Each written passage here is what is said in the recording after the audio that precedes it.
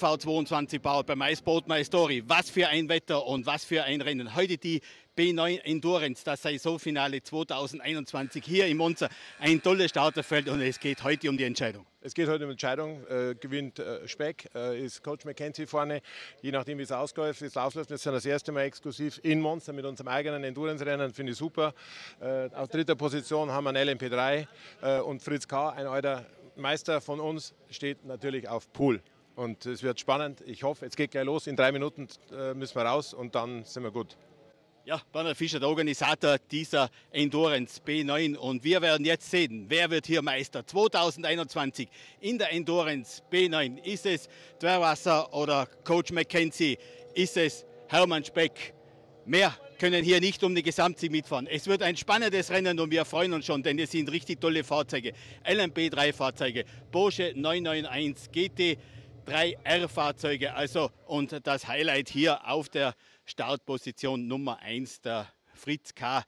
Fritz Kreuzbeutner, früherer DTM-Fahrer, Europameister im Truck Grand Prix. Ein richtig tolles Charterfeld. Bernhard, gratuliere und wir lassen es jetzt gleich losgehen. Genau, super. Alles Gute. Danke.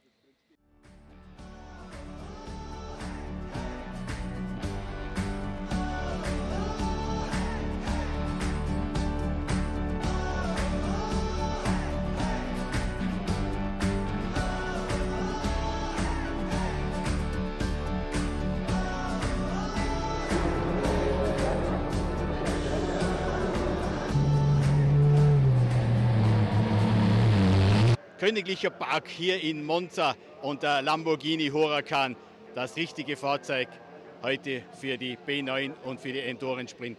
Ja, ganz besonderer Platz für mich auch, ein Platz mit Geschichte. Macht super Spaß hier zu fahren. Ist nicht ganz einfach für mich gewesen. Ich musste gestern noch meine Tochter verheiraten und bin also erst später heute Nacht angekommen. Also war nichts mit Testen. Das Qualifying war der Test, aber da hat alles gepasst und ja, jetzt können wir Gas geben. Ich hoffe, dass wir soweit alles klar machen können und insbesondere auch in der Sprint morgen. Schauen wir mal. Heute die Endurance zwischen Hermann Speck und euch noch ziemlich eng. Ja, wird spannend. Der fährt alleine, kriegt doppelte Punktzahl. Von daher ist für uns anstrengend, aber ja, wir werden gucken. Der Beste soll gewinnen oder der Schnellste, sagen wir es mal so. Ja? So soll es sein. Ja, Joe McKenzie auf den Lamborghini Huracan im HP Racing Team. Heute um 18 Uhr ist hier der Start in Monza und wir sind gespannt und wünschen dir alles Gute. Vielen Dank. Ja, jetzt wird es noch spannend heute Abend bei der Endurance. Äh, bei dir geht es um einen Gesamtsieg. Hermann, also das wird noch richtig geil für dich heute. Ja, also schauen wir mal. ja, das wird schon geil. Also, ja. Und äh, ja, die Hoffnung stirbt zum Schluss. Nein. Äh, dass die, die Chancen sind ganz gut, wenn ich gut durchkomme, wenn nichts passiert, wenn man keiner reinfährt oder ich irgendeinen Fehler mache, soll es eigentlich soll's ganz gut ausschauen. Der Promoter, der Bernhard Fischer, kommt jetzt gerade mit irgendetwas daher, nein. irgendein Motor, irgendein Protest, was läuft denn Bernhard? Um Gottes Willen, Hilfe, nein, kein Protest, wir schauen, dass wir das schön heimfahren. Äh, Specki liegt vorne, beziehungsweise falsch. Coach McKenzie ist vorne, Fritz K. ist, hin, ist auf zwei. Äh, wenn das so weitergeht für Specki, hat er es heimgefahren, passt. Ja, und wir werden schauen. In ein paar Minuten wissen wir es und dann geht es rauf auf die Siegerehrung. Hoffentlich bringst du unser Speck nach Hause. Ja, schauen wir, werden wir sehen. Wir wünschen es. Alles Gute. Daniel, Chief Mechaniker vom Hermann Speck und äh, Vorbereitung von dem Fahrzeug. Äh, Daniel, äh, es geht um die Meisterschaft heute. Gell? Also wir haben jetzt eine Viertelstunde hinter uns. Und wenn wir da schauen, der Hermann liegt in seiner Gruppe vorne. Also für die Meisterschaft wäre alles noch. Alles, alles safe. Aktuell schaut es gut aus. Aktuell müssen wir die Meisterschaft holen. Wenn nichts dazwischen kommt, sollte alles klappen. Du bist mit ihm in Verbindung, was sagt er? Ja, aktuell nichts, alles gut. Spritverbrauch gibt er durch. Ansonsten alles gut. Wir werden tanken müssen wahrscheinlich, wird nicht ganz ausreichen. Machen wir jetzt dann und dann geht's weiter. Eine spannende Dreiviertelstunde. Eine spannende Dreiviertelstunde, ja. Es sollte einfach nur ankommen, dann ist alles gut. Ja gut, und das hoffen wir. Dann wäre der Meisterschaft für die Endurance 2021 in der B9 gesichert. Ja, das wäre super. Daniel, schauen wir mal nach vielen Hoch- und Tiefs heuer. Ja vielleicht doch noch ein gutes Ende. Genau, hoffen wir es. Schauen wir mal.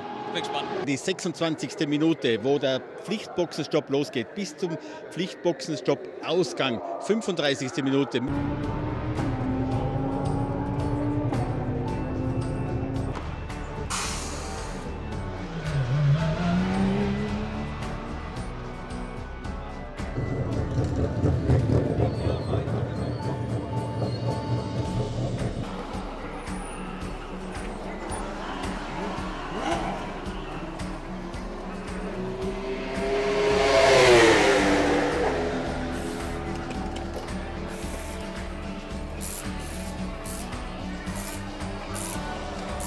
Ja, bei diesem Rennen der Endurance ist vieles möglich. Ein Boxenstopp, Räder zu wechseln, nachzutanken, beziehungsweise den Fahrer zu wechseln. Ja, das ist eine interessante Geschichte, denn hier ist es alles möglich. Wie in einem Langstreckenrennen hat man hier viele verschiedene Möglichkeiten, hier dieses Rennen zu gestalten. Entweder man fährt alleine ohne jeweiligen Reifenwechsel. Nur der Pflichtboxenstopp ist hier Pflicht, diese 70 Sekunden hier dabei zu sein.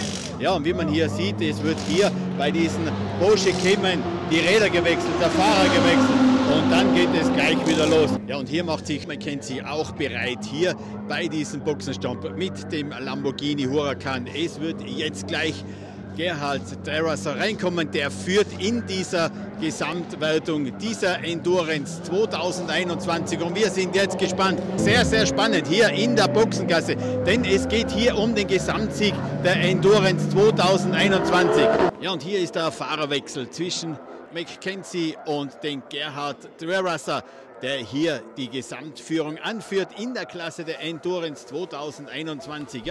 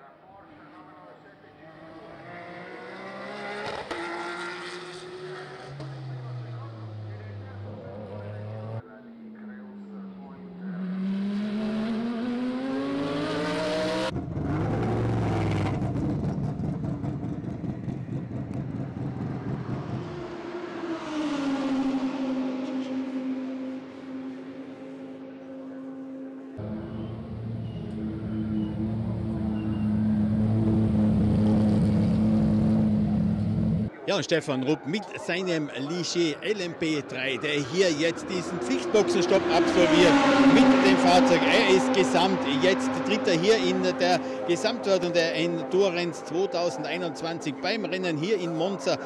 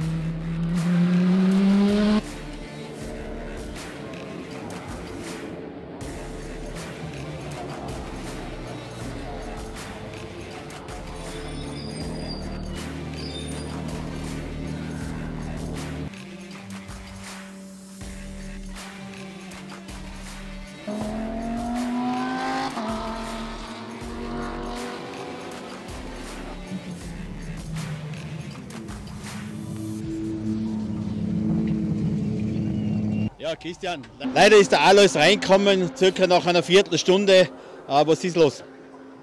Er ist in der ersten Runde äh, ist er mit dem äh, GT2 Renault äh, hat eine Kollision gehabt oder, oder er, hat ihn vor ihm gedreht Und er ist mit 150 durchs Kiesbeck gefahren, hat also einen Haufen Steine mitgenommen und er sagt, das Auto ist jetzt unfahrbar, da klappert es rein und äh, wir müssen jetzt die, die, die Steine ausrammen.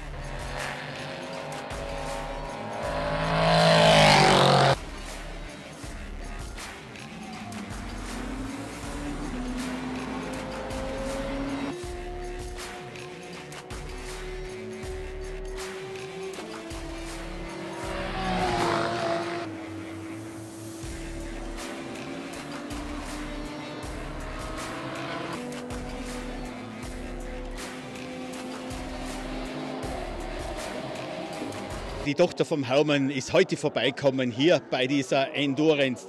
Und äh, der Papa führt und es schaut sehr gut aus, als wie wenn er die Gesamtwertung heute gewinnen könnte. Also ich bin super stolz auf ihn. Also er gewinnt hundertprozentig. Ja, Jack, die Meisterschaft der Endurance. Ich drücke die Daumen ganz stark für unseren Freund Hermann, mein Mitstreiter hier um die Pokale. Das ganze Wochenende fiebern wir schon, dass es klappt. Es sieht sehr, sehr gut aus. Er hat noch 15 Minuten auf der Uhr. Keine direkten Gegner mehr, die ihm jetzt gefährlich werden könnten. Ich gehe davon aus, er fährt nach Hause. Also das Talent hat er, es muss das Auto nur durchstehen. Jack und wir stehen vor deinem Auto und morgen geht es auf in den zwei Sprintrennen in der B9. Das geht ja auch um den Gesamtsieg, aber es schaut sehr gut aus für dich.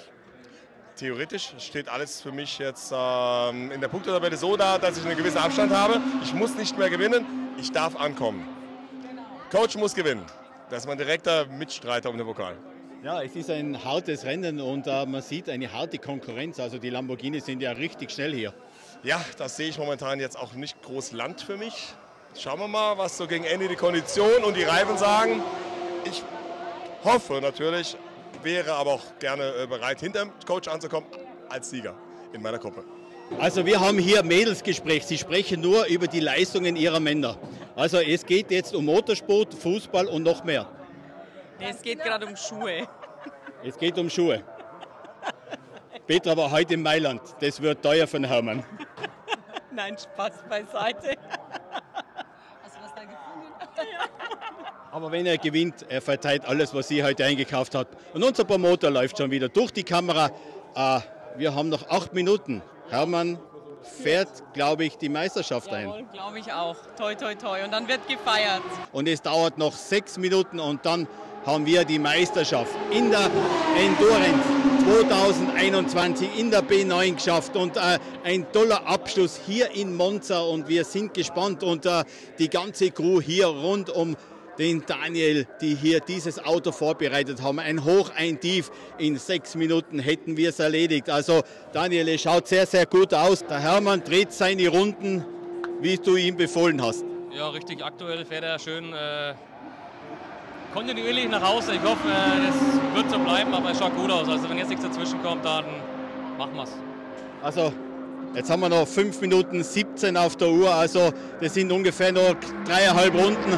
Drei Runden, also schaut doch mal sehr gut aus. Also Auto, alles in Ordnung. Alles in Ordnung, läuft alles gut, keine Probleme. Ja, wir sind gespannt. Fünf Minuten haben wir noch auf der Uhr.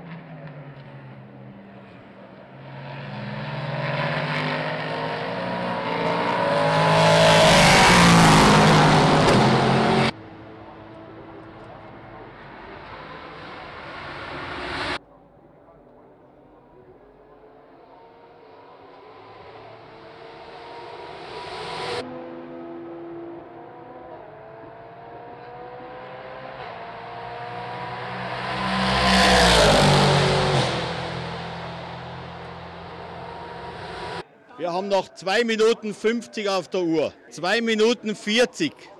Wir zählen es jetzt herunter. 2 Minuten 37. 2 Minuten und 35 und es wird immer interessanter und spannender. Also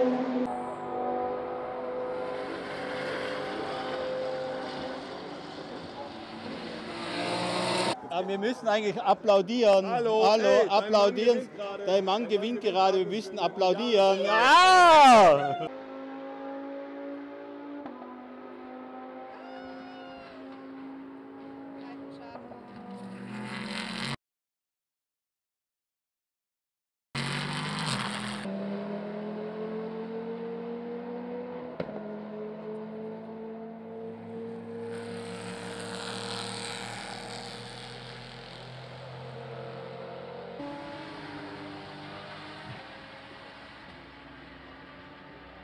Mm-hmm.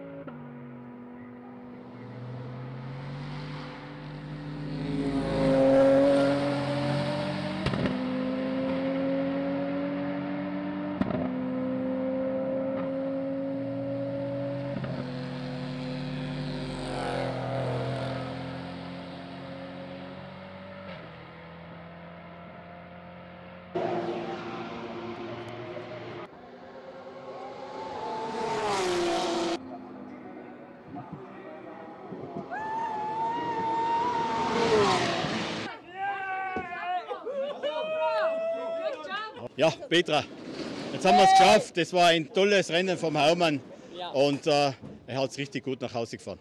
Absolut. Wir sind alle froh. Ja, es hat sich gelohnt. Ein Auf und Ab dieses Jahr, aber jetzt die Meisterschaft eingefahren. Richtig happy. Ja, super happy. Ja. Und er hat dann gute Laune.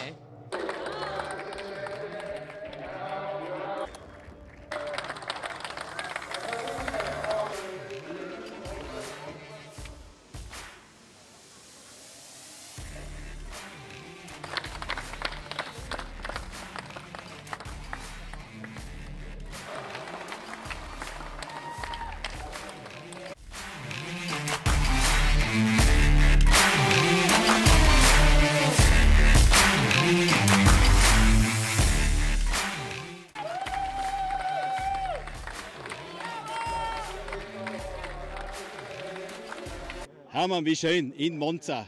Und hier die Endurance-Meisterschaft 2021 zu gewinnen, ist schon was ganz Besonderes. Es war eine harte Saison und heute ist es ausgegangen und jetzt fällt so ein bisschen ein Stein von Herzen und morgen nochmal ein, ein Sprintrennen. Gut, da kann ich nichts mehr abräumen, aber der Pokal reicht. Das ist der fünfte dann in einer Reihe. Ja, der Promoter, der Bernhard Fischer, jetzt hier. Ihm fällt ein Stein vom Herzen, denn die Endurance ist vorbei. Ein richtig tolles Rennen heute, Bernhard. Also einen würdigen Meister wieder haben wir. Alle Und Achtung. Es war natürlich schon ein wenig knapp hinten aus so, aber tapfer gefahren, tapfer gefahren. Und Coach ist super klasse gefahren. Also muss man sagen, Coach hat alles gegeben und äh, super, war toll. Die haben alle gut gefahren, die haben alle super gefahren. Jeder hätte es verdient, aber ich bin natürlich froh, dass es mir geklungen ist. Das ist aber der Beste. Ja, Bernhard, tolles Rennen heute. Morgen geht es weiter, morgen die zwei weiter. Sprintrennen. Morgen früh, äh, gleich, gleich, in der Früh fahren wir den ersten Sprint, dann am ähm, Nachmittag den zweiten Sprint und dann ist gut. We are the champions, my friend. no time for losers.